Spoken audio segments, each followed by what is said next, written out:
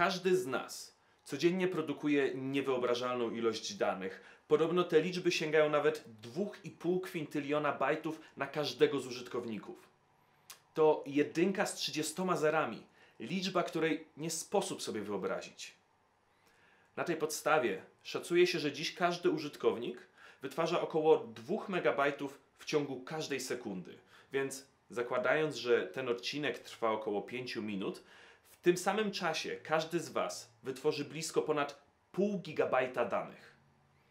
Taki wynik to dobry pretekst do tego, żeby dowiedzieć się kto, jak i kiedy usprawnił proces przesyłania informacji, tworząc system kodowania ANS. Zapraszam Was na krótką opowieść o tym, jak wynalazek krakowskiego profesora każdego dnia przeprowadza rewolucję w wirtualnym świecie.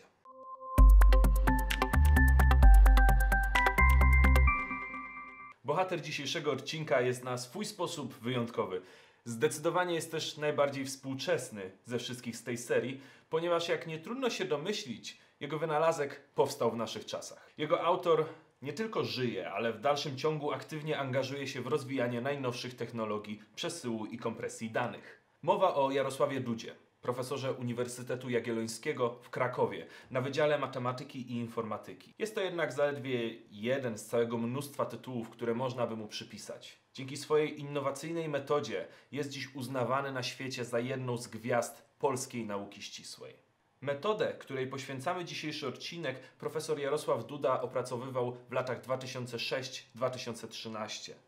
Sam temat kodowania ENS jest tak mocno rozbudowany, że gdybyśmy chcieli omówić go szczegółowo, materiał trwałby pewnie przeszło godzinę. Dlatego postaramy się po prostu dotrzeć do sedna tej technologii. Ważne, że w tym odcinku nie będziemy mówić o patencie, a o metodzie. Jak wypowiada się na ten temat sam profesor Duda, jak do tej pory nikt nie otrzymał patentu na metodę kodowania ANS, nawet jej twórca. Co ciekawe, kilka popularnych serwisów i firm z branży technologicznej chciało w pewnym momencie opatentować wynalazek Polaka, roszcząc sobie do niego prawa. Jednak przeciwko takiemu rozwiązaniu zdecydowanie protestował Uniwersytet Jagielloński. Dlatego jeszcze raz warto zaznaczyć, że tym razem nie mówimy o patencie, a wyłącznie o opracowanej metodzie. No dobrze, ale czym właściwie jest to kodowanie ANS? ANS, czyli z angielskiego Asymmetric Numeral Systems. Najprościej mówiąc, nasz dzisiejszy wynalazek to taki system, który pozwala na kompresję danych m.in. w komputerach i innych urządzeniach elektronicznych. Bardzo znaczący system zresztą.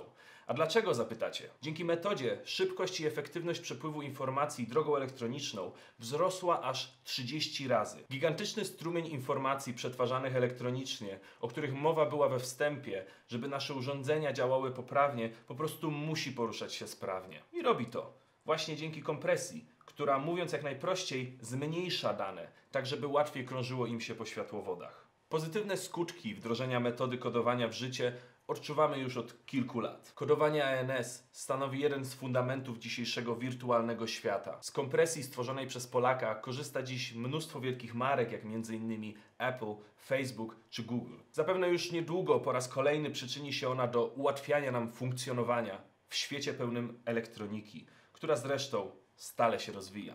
To tyle w tym odcinku. Jeśli chcecie posłuchać o innych polskich wynalazkach, takich jak wycieraczki samochodowe, blender czy walkie-talkie, zobaczcie inne odcinki z serii Made in Poland.